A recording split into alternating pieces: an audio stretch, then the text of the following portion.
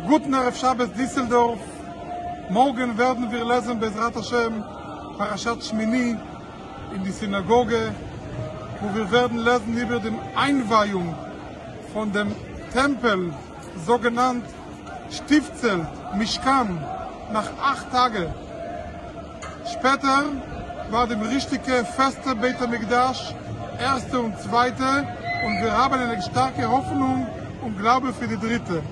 Bei dem Einweihung von dem Zelt, Stiftzelt sagt Moshe Rabbeinu, Vehi Noam Hashem Elokeinu, liebe Gott, möge Gott, es soll eine große Segen, eine große Bracha in das Werk unserer Hände.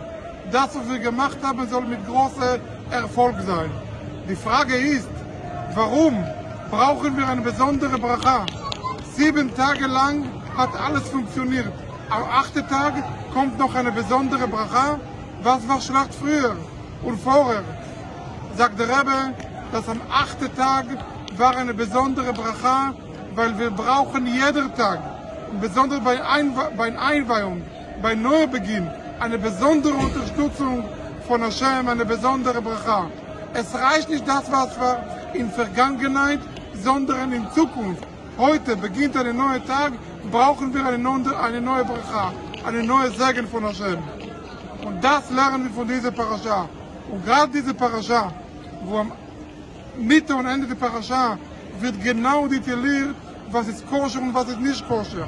Wir haben eine genaue, deutliche Beschreibung, wie sollten wir als Juden leben.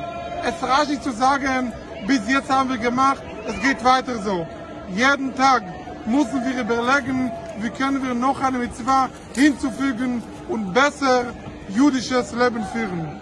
Von diesem Ort, Plagemauer, Kotel Amaravi, Rest vom zweiten Tempel, zweiter Beit HaMikdash, schicke ich euch, sende ich euch eine Botschaft von Segen, von Hoffnung an unsere Gemeinde, Chabad Lubavitch Düsseldorf, Adas Israel Düsseldorf und alle Juden Düsseldorf für Erfolg, für Nachas, für Gesundheit und möge Gott schnell wie möglich bei Zrat Hashem sollten wir uns treffen zusammen in dritte Beit HaMikdash hier in Jerusalem mit dem größten größten Segen von Hashem mit das Kommen von Moschiach.